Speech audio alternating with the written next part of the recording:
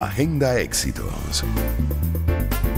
El mundo según Rodolfo Saglimbeni, nuestro invitado el día de hoy, es eh, un gran director de orquesta, orgullo de nuestro país. Eh, estudió música en Venezuela y en la Real Academia de Música de Londres, Inglaterra. Saglimbeni se ha convertido en uno de los directores de orquesta más solicitados de nuestro país, miembro fundador del núcleo Lara del Sistema de Orquestas Sinfónicas Juveniles de Venezuela. Fue por seis años director asociado de la Orquesta Sinfónica de Venezuela, un cargo al que renunció en 1993 para dedicarse al desarrollo de uno de los proyectos musicales más importantes de nuestro país, como director fundador de la Orquesta Sinfónica Gran Mariscal de Ayacucho. Además, eh, fue director asociado de la Sinfonieta de Caracas y frecuente invitado de las orquestas sinfónicas de Venezuela y de ópera en la Fundación Teresa Carreño. Fue distinguido con el Premio Director de las Américas en Santiago de Chile en marzo de 1999. En ese mismo año recibió el Premio Nacional del Artista acá en Venezuela y el título honorario Aram por la Real Academia de Música de Londres. Ha sido director invitado en orquestas como la de Haydn en Londres, eh, Radio Televisión de Luxemburgo, además eh, de dirigir eh, sinfónicas nacionales y provinciales en Europa y en América Latina. En 2015 fue designado director artístico de la Orquesta Sinfónica de la Universidad Nacional de Cuyo en Mendoza, Argentina. Y desde septiembre de 2019, el maestro Saglimbeni ostenta el cargo de director de la Orquesta Sinfónica Nacional de Chile. Hoy, por supuesto, vamos a conocer eh, cómo es el mundo según Rodolfo Saglimbeni, nuestro invitado especial a nuestra sección de cada lunes. Y aprovechamos, maestro, para felicitarlo por su reciente premio del Círculo de Críticos de Arte de Chile por sus conciertos durante el año 2022 y donde también recibió la medalla conmemorativa de los 80 años de la Orquesta Sinfónica Nacional de Chile, la cual usted dirige. Bienvenido a Agenda Éxitos, le saludamos Unaya Menábar y quien le habla, Albani Lozada. Bienvenido, maestro, ¿cómo está? Y una, agradecido siempre por lo, por lo que hacen por nuestros artistas venezolanos, siempre tienen un espacio para la cultura, para el arte, bueno, así que me siento muy privilegiado de estar compartiendo con ustedes. No, el privilegio es nuestro porque esto siempre nos, nos nutre además, ¿no? Nos nutre de, bueno, todo el conocimiento, de todo el talento que ustedes tienen y que, y que además van regando eh, por el mundo. Pero bueno, vamos a entrar en, eh, en, materia de cómo ve usted el mundo, sobre todo en la música, en este momento. Eh, ve, es, digamos, es optimista con relación a lo, que está pasando en materia musical, es escéptico, es pesimista, no sé, ¿cómo, cómo lo ve? Lo veo optimista, pues además después de de todo lo que pasamos con pandemia. Fíjate que la actividad de nosotros, que es trabajar con orquestas y coros, es siempre hablar de trabajar con grupos de 100, 150 personas, y si había algo negado en pandemia era trabajar en grupos. Así que fueron momentos difíciles donde nos reinventábamos con los videos, con tantas cosas, etcétera, pero ya lleva un buen tiempo donde las cosas están llegando a una normalidad y a una nueva normalidad, porque todo lo que se hizo por, por las redes sociales sigue siendo muy activo ahora, los videos siguen apareciendo, los streaming están, quedaron, o sea, vinieron en un momento difícil y ahora quedaron y nuestros conciertos se siguen haciendo ahora pues con mucha normalidad. Así que lo veo todo muy en positivo y mucho más en nuestro país, Venezuela, que tenemos ese orgullo, esa fortuna de levantar una piedra y realmente sacar músicos de primera calidad a nivel nacional e internacional. Así es, es eh, impresionante lo, lo, lo, que ha logrado Venezuela en, en esa área, eh, maestro. Ahora le pregunto, eh, usted ha dirigido orquestas acá en, en, en nuestro país y bueno, pues más recientemente se ha mantenido allí en, en, Chile. ¿Hay diferencias, eh, maestro, o básicamente es exactamente lo mismo? Es, son movimientos, tienen obviamente sus diferencias, pero quizás tienen la misma raíz. Uh, yo, de hecho, ahora estoy en Caracas. Eh, vine para trabajar durante un mes con mi Orquesta Sinfónica Municipal de Caracas. Es una serie que tenemos en la Asociación Cultural Humboldt, que tiene la particularidad de hacer conciertos, pero una hora antes también hay un curso de apreciación musical. Mm. Y entonces, eso son dinámicas que vamos creando acá como para ganar público, etcétera, que obviamente es muy fructífero. Yo acabo de terminar eh, el jueves pasado el Festival de Frutillar, que es uno de los festivales más interesantes en en, el sur de Chile. Eh, hicimos los dos conciertos finales y una temporada muy interesante en enero también, así que tienen sus características, pero tiene un mismo germen, son orquestas que partieron todas, en el caso de Venezuela, del sistema de orquesta, donde yo fui miembro fundador, etcétera, junto con la Orquesta Sinfónica de Venezuela, las orquestas tradicionales, y en Chile también con esos jóvenes músicos que somos como propios de una misma generación.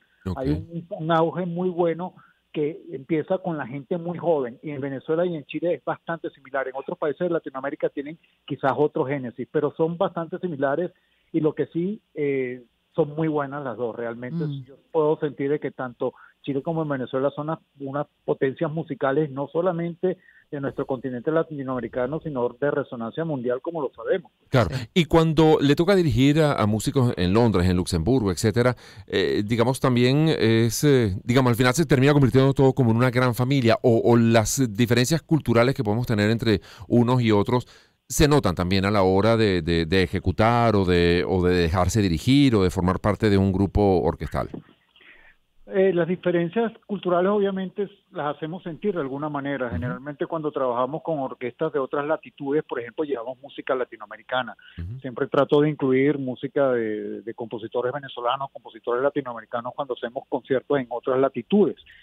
Y por ejemplo, eh, esta semana estuvo acá en Venezuela el querido Pacho Flores haciendo conciertos con el sistema dentro de un mes lo va a tener en Chile haciendo música para trompeta venezolana con la Orquesta Nacional de Chile. De hecho, empezamos la temporada con eso. Entonces, si bien en Latinoamérica traemos música venezolana hecha por un gran trompetista venezolano para allá. Entonces, esas son las pequeñas diferencias donde uno aporta para que esas diferencias se sientan. Nosotros amamos Mahler, amamos Beethoven, Tchaikovsky, etcétera, pero Ginastera, Esteves, los compositores latinoamericanos, venezolanos son de mucha fuerza y obviamente de una exigencia muy diferente y obviamente esos son retos importantes para orquestas internacionales. Gustavo Bamel lo ha hecho mucho también en el mundo, llevando música de Maro Romero, etcétera. Entonces, realmente eso es una fuerza que nos da. El ser latinoamericano nos da esa fuerza porque además nuestra música si bien se vende como exótica, además de exótica, es muy interesante musicalmente, especialmente la que es originaria del folclore venezolano. Mm. Ver todo su recorrido desde que fundó la Orquesta Sinfónica del Estado Lara, maestro, hasta la actualidad, ¿qué, balance hace? Eh, ¿cuánto, ¿Cuánto ha evolucionado? ¿Cuánto ha crecido usted, no solamente en su, en su profesión, sino también a nivel humano?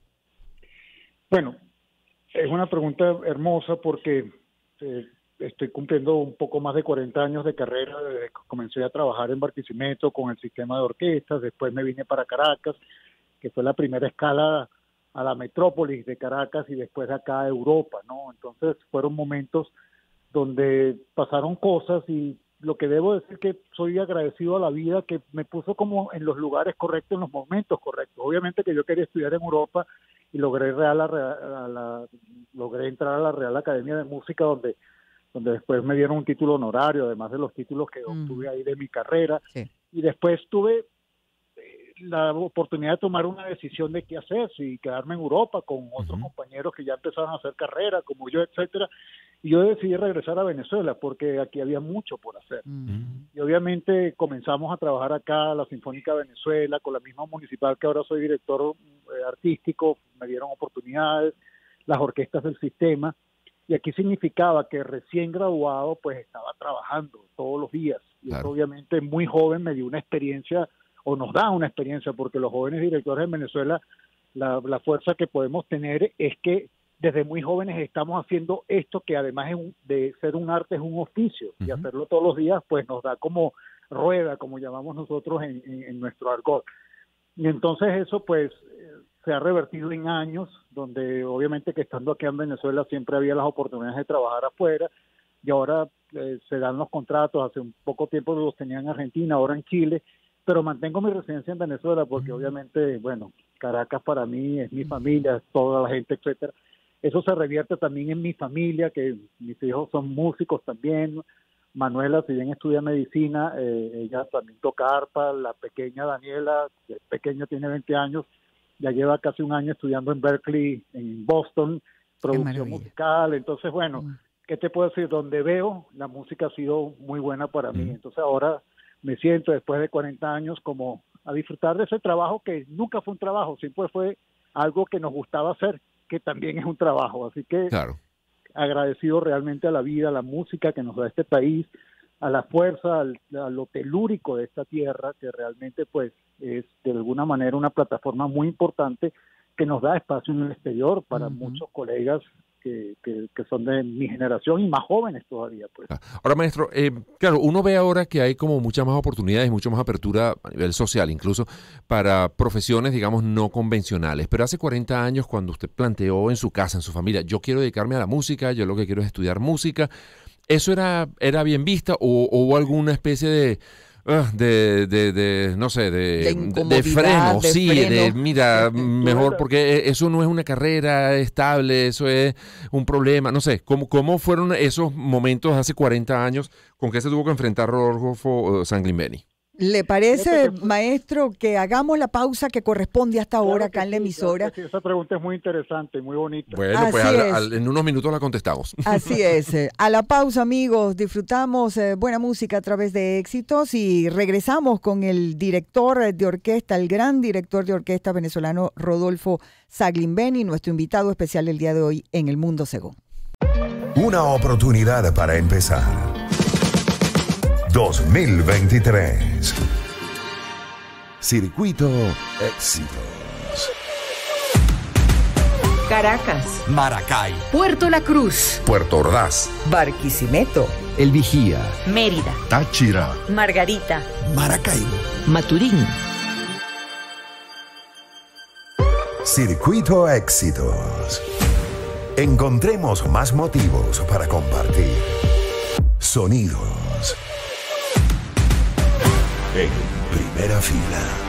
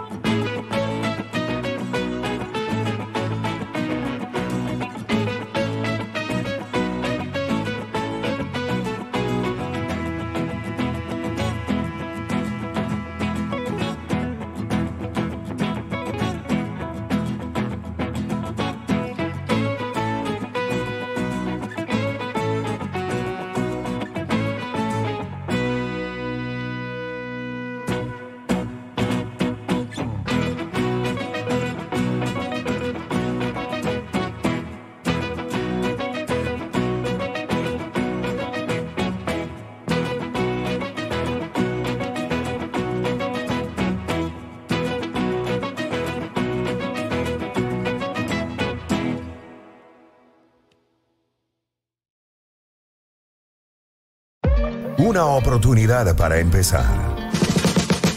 2023. Circuito Éxitos. Caracas. Maracay. Puerto La Cruz. Puerto Ordaz. Barquisimeto. El Vigía. Mérida. Táchira. Margarita. Maracaibo. Maturín. Circuito Éxitos. Encontremos más motivos para compartir. Sonidos. En primera fila.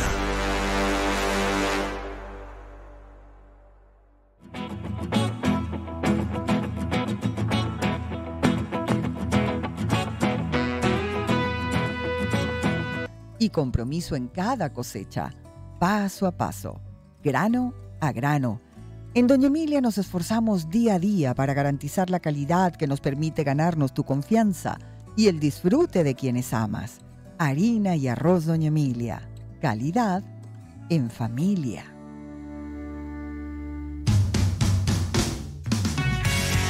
La Liga Fútbol se vive en Inter por Gold TV HD. Ya arrancó la temporada 2023 del balompié venezolano con 15 participantes que se medirán por la ansiada estrella.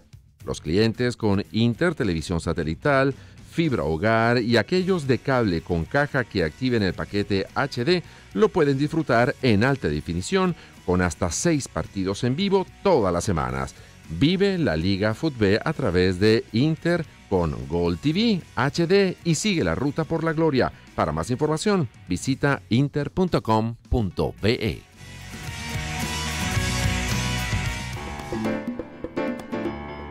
Habitar en otra tierra. Agenda Éxitos. El mundo según... Según el maestro Rodolfo Saglimbeni, director artístico de la Orquesta Sinfónica Municipal de Caracas, director titular de la Orquesta Sinfónica Nacional de Chile. Nos comentaba en la primera parte de la conversación que él tiene ya 40 años dedicado a esto y uno se imagina, bueno, al, tal vez en estos tiempos eh, se le da como más oportunidades, más méritos, se impulsa a los muchachos de 17, 18 años a que emprendan cualquier tipo de carrera. Los hay músicos, los hay chefs, los hay diseñadores, los hay, de, digamos, de todo tipo, siempre y cuando pues, se sientan realizados. Pero tal vez hace 40 años no era igual. ¿Cuál fue su experiencia en la casa cuando dijo, yo me quiero dedicar a esto, quiero estudiar música y quiero ser músico toda mi vida? Empezó un poco al revés. Ok. Mi padre, hombre de campo, italiano, siciliano, que viene en los años 50 a far la América, a hacer la América, llega con un recuerdo que tenía de que su papá, que también era hombre de campo, tenía la afición de ser que tocaba la percusión en la banda del pequeño pueblo precaria, me imagino que había en Sicilia, y amaba la música, escuchaba las cosas, etcétera, y tenía esas melodías, y quiso estudiar piano acá en Venezuela y obviamente no había la plata, etcétera. Y de alguna manera pues siempre buscó si bien venía del campo, tratar de hacer lo mejor posible en todo, en el arte, la cultura, le gustaba mucho eso. Se casa con mi mamá española del sur de España y la visión de ella era completamente diferente, era mucho más pragmática. Y los hijos empezamos y mi padre quería que de alguna manera nos involucraran en la música y que fuéramos músicos. Y mi mamá decía, ¿y de qué van a trabajar los músicos? Entonces tuvimos esa cosa, pero obviamente que mi mamá, cuando ya empezó a ver los conciertos, etcétera, iba mi papá lo disfrutaba porque conocía un poco más y, obviamente que lo cultivaba, se emocionaba muchísimo. Mi mamá empezó a emocionarse con los conciertos y cuando tocábamos Sherezad me decía, ¿y cuándo vuelven a tocar Sherezad? Era como su obra favorita. Entonces tuvimos ese mundo porque obviamente dedicarse a la música era también la idea de hacer otra carrera y después ser músico. No, el planteamiento se nos hizo nosotros en un mundo donde empezaba a cambiar en Venezuela, había el auge de la juventud musical y todo ese tipo de cosas y tuve la oportunidad de entrar en una escuela de música en Inglaterra y obviamente sacar mi grado, mi posgrado, etcétera, y entonces obviamente mi mamá se dio cuenta pues de que esto era una profesión como tal. Sin embargo, todavía la gente nos pregunta en la calle si usted es músico, pero ¿en qué trabaja? no, es increíble. Eso no es un trabajo, eso es un trabajo. Dígame trabajo de verdad el trabajo de nosotros se ve compensado. Nosotros, yo mañana quiero ensayar el Requiem de Mozart que vamos a tocar el próximo sábado a las 4 de la tarde en la Asociación Cultural Humboldt. Es un trabajo de cinco días arduos del proyecto, sacarlo adelante con el coro del Teatro Teresa Carreño, la Orquesta Sinfónica Municipal. Y esto se complementa cuando el público viene, termina el trabajo, el proyecto termina en ese momento. Así que es uno de los trabajos más hermosos que hay. Pero esa fue un poco la vida, pues, de, de eso. Y obviamente que quien quiera una de las cosas de las bendiciones de Venezuela, que hay tanta música, que siempre recuerdo decir a los alumnos, a las familias que dicen, estudien música, pero aunque no sean músicos, el hecho de pasar por la música lo hace gente muy disciplinada, por ende mejor ciudadano. Eso es una cosa que es verdad. Muchos conocen el Colegio Friedman, que es un ejemplo acá la gente que tanto estudia música, pues de alguna manera, pues tiene ese recurso, porque esto es una cosa que si no hay disciplina y trabajo diario, no ofrece resultados. Entonces, si bien van a ser ingenieros, etcétera, la música va a aportar para que sean mejores ingenieros, mejores chefs, mejores artistas, mejores de todo, pues. Así es. Claro, y, lo otro es, eh, maestro, que digo yo que, que, es como un regalo, ¿no? De la vida, poder hacer lo que uno decidió, decidió ser y hacer. El, el disfrute en su caso eh, con, con respecto a la música, ¿no? ¿Cuánto vale, por ejemplo, un aplauso para un director de orquesta? Porque más allá de los reconocimientos, también está el compromiso que se va tejiendo con eh, el público y a través ¿no? de esos reconocimientos. El, el, aplauso, el aplauso para un director de orquesta después de una ejecución de, de, digamos, de las más difíciles de la música académica. Bueno, son proyectos que se plantean. Eh, nosotros trabajamos generalmente a, nivel profesional en proyectos que son semanales, como le expliqué eso. Entonces son proyectos que y hablamos del director de la orquesta, pues eh, uno es más de un equipo que es una gran orquesta sinfónica. En el caso de una orquesta sinfónica pueden ser 100 con coro, 200 personas, etcétera, y es un compromiso que asumimos todos, porque el director es, si bien está en ese momento como para guiar, etcétera, el propósito de todo es lograr la comunicación entre todo eso y que tenga un éxito para adelante. Entonces, ese aplauso al final, pues, lo que sirve por sobre todo es para cuando uno queda en ese silencio, después de estar rodeado, imagínate pues un concierto en la Río Reina, haciendo una Carmina Burano, etcétera, que tienes 2.500 personas, estás rodeado de 250 músicos, sales a la calle, la gente te felicita, etcétera, pero llega un momento donde esa noche estás solo tú viendo el techo de la casa y dices, gracias a Dios por esto, realmente por esto que sucede.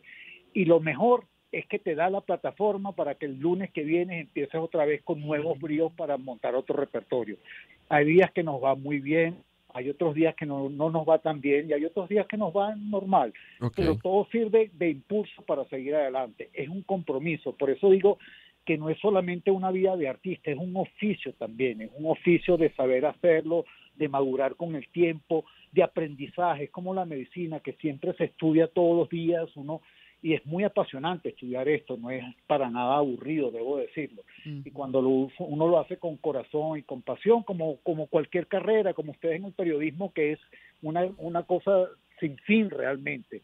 Eso da mucha gratitud y da una mucha gratitud no solamente a uno, sino al entorno, a la familia, que es lo más importante que tenemos. Absoluta. Ahora, fíjate que, bueno, tal vez... Eh, Hollywood o el cine nos ha mostrado imágenes, no sé qué tan distorsionado será, pero por ejemplo, uno tiene la imagen de, los directores de cine, de, directores de cine, de directores de orquesta, a lo mejor un poco histéricos, un poco excéntricos, o los chefs, ¿no? Entonces pareciera que están todo el día como pegando gritos y de mal humor. Eh, ¿Qué tanto hay de cierto en esas imágenes? ¿Y qué tan irascibles son los directores de orquesta y, tan quisquillosos a la hora de que algún instrumento no suene exactamente como él está esperando que, suene? ¿Qué tanto hay de, esa, de cierto en esa imagen que, a lo mejor nos, nos muestran otras artes, como es el cine en este caso?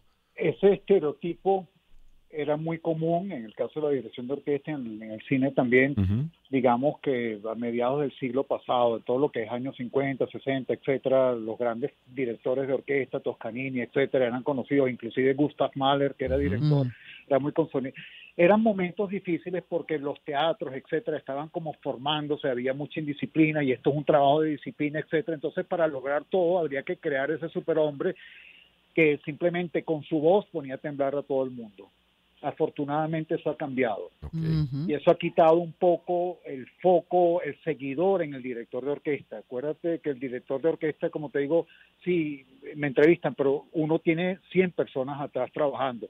Hay el famoso director de orquesta que hace una entrevista y habla, no, porque yo dirijo de esta manera, yo dirijo de esta manera, yo hago esto con la orquesta, etcétera. Al día siguiente, cuando iba a empezar, bajó las manos y no sonaba nada. Volvió a bajar las manos, no sonaba nada. Y un músico dice, no, ¿Qué pasa? No, no se preocupe, solamente queríamos saber cómo sonaba la batuta. Entonces, esto es un trabajo de equipo y por hoy, pues, gracias a Dios ha desarrollado de esa manera donde es una cosa de, comunión, de liderazgo, obviamente. Uno tiene que tener una propuesta, pero uno no se tiene que olvidar que el resto que está enfrente de uno son también músicos sí, en sus especialidades, violín, trompeta, oboe, clarinete, saxofón, etcétera. Y todos hacemos y es una cosa, un trabajo en equipo muy importante que, como repito, uno en ese momento tiene que liderizar un movimiento de muchas personas que vienen del tráfico, de las deudas, de la familia, dejar los niños al colegio, etcétera, y ahí nos ponemos y en un tiempo definido tenemos que lograr hacer una obra maestra en cinco o seis ensayos, etcétera. Es un proyecto difícil, de mucha dedicación, muy difícil también lo que es la producción, porque no solamente es tocar, es hacer todo para que el público sea, sea atractivo para el público, vender, las orquestas son instrumentos muy caros, son 100 personas trabajando con sueldos, etcétera. La taquilla a veces ayuda, los subsidios a veces no son suficientes, otras veces mejores, patrocinios, etcétera. La música es difícil, producirla es un poquito más difícil todavía. Y eso es muy importante, todo ese equipo que está tras, tras bastidores. Eso no solamente me refiero a las orquestas, sino los musicales, todo lo que es de ese tipo de trabajo es realmente eh, difícil, difícil, pero como te digo, cuando te quedas en el silencio y las cosas salen bien, realmente es muy gratificante. Sí, señor, sin duda. Bueno, entendemos, eh, maestro, que em, eh, esta digamos, esta visita que usted hace a Caracas tiene un motivo, hay una cantidad de actividades, de talleres, eh, bueno, digamos que parte pues de la misión didáctica también con la que usted eh, cumple. Cuéntenos eh, en ese sentido qué hay para, para informar a nuestra audiencia. Bueno, este sábado tenemos el Requiem de Mozart acá en la Asociación Cultural, la Cultural Humboldt en San Bernardino donde a las 3 de la tarde comienza un curso. Tenemos un curso de apreciación musical, ya tenemos dos conciertos, hicimos el barroco italiano, el barroco alemán, eh, con dos colegas míos, Adao Muraki y Daniel Gil. Eh, esta semana y las próximas tres me tocan a mí, donde quien dirige pues hace el, la charla con el público, donde es un taller de de, apreciación musical, donde al final inclusive a las personas si van por dos sesiones, tres, cuatro, cinco, se le da un diploma de reconocimiento, etcétera, donde tratamos de acercar esa música. No es solamente tocar el Requiem de Mozart, que tiene muchas cosas importantes, como el hecho de que fue inconcluso y que otro lo tuvo que terminar, y que era la última de Mozart, y de eso se sacaron películas como Amadeus, etcétera, etcétera. Entonces nosotros tratamos de acercar a la gente porque, para que no tenga esa sensación de que es una hora que le tiran una música y no tiene un sentido. Es como acercarlo de esa manera, llamarlos, hacerles ver lo hermoso que es eso. Esto que muchas veces lo venden como la música docta. Esa palabra realmente yo la quiero quitar del, mundo de la música académica porque pone a la música como algo que es para especialistas. No, esto puede emocionar a, bueno, como te decía, mi mamá que no sabía música emocionaba la música y esto emociona de una manera. Y si lo inducimos, dan, o sea, damos como ayudas para hacerlo. Es como el ajedrez. Cuando lo aprendes a jugar, sabes lo fantástico que es eso. Si no, no lo entiendes mucho y puede ser hasta aburrido. Entonces, todo un poco ese tipo de cosas. Eso va a suceder esta semana con el Requiem de Mozart, después con la Sinfonía Fantástica de Berlioz, después de la Semana de Carnaval y al final con una visita al siglo XX, donde todos ellos tenemos además, la semana pasada tuvimos un flash mob esta mm. semana tendremos otra cosita. Siempre hay una sorpresa para el público. Queremos hacer cosas amables, no que sea una cosa cartonada, un concierto serio, no, sino una cosa totalmente humana, abierta, fresca como debe ser la música hoy en día para todos. Maravilloso. Y a nosotros nos gusta esa música, nos apasiona, pero a mí también me gusta la salsa. La gente me dice que es yo vengo en el carro hoy escuchando boleros, que son fantásticos, a Oscar de León. es tan bueno como de todo, en punto, listo. Así es. Gracias, maestro, maestro Rodolfo Sagliberi. Gracias por habernos dado estos minutos bueno, y habernos llevado pues a esa, a, esa pasión y a ese gusto por, por la música que nos ha estado dejando en, en, cada palabra. El maestro Rodolfo Sagliberi, director artístico de la Orquesta Sinfónica Municipal de Caracas y director titular de la Orquesta Sinfónica Nacional también de Chile. Y ya que estamos hablando de buena música, ¿con qué despedimos? Nos vamos al año 1965 y no es ni bolero ni música clásica, nos vamos con rock, con Rolling Stones y Satisfaction, que fue el tema más popular de aquel año, 1965. Y con ellos vamos despidiendo el programa. Gracias amigos por habernos eh, acompañado el día de hoy. Los esperamos Dios mediante mañana en nombre del equipo. Gracias. Y también en nombre de nuestros anunciantes JJ Import Corp, tu aliado logístico. Laboratorio Clínico Examina, atento a tus resultados. Doña Emilia, calidad en familia. Y Fibra Hogar de Inter es internet de alta velocidad más televisión a través de fibra óptica directa a casa. Chao, hasta mañana.